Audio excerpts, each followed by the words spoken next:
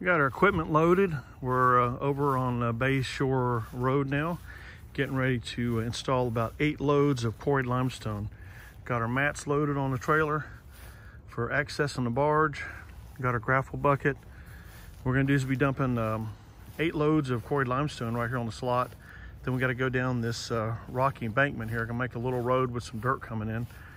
And then we got some ramps that um, hook to the front of the barge. So we'll be loading the rock on the barge and then moving the uh, rock on the other side of this dock over here and stacking it up against the uh, seawall on some existing riprap that's kind of been washed down a little bit. Really wasn't enough installed. So we're gonna build that up a little bit in that area over there. Got the barge coming over now from Gulf Breeze. Left this morning about 5.30. Should be here shortly. On this project here, we'll be installing 140 tons of class two and three quarried limestone riprap along the shoreline. That is eight truckloads.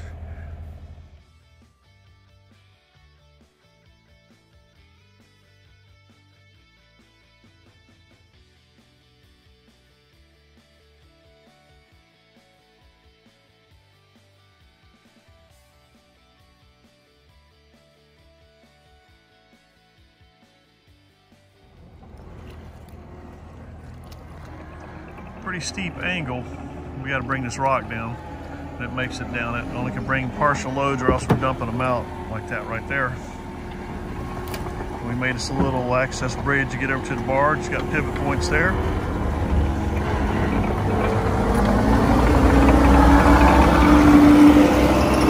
Very, very close quarters where we got to dump everything.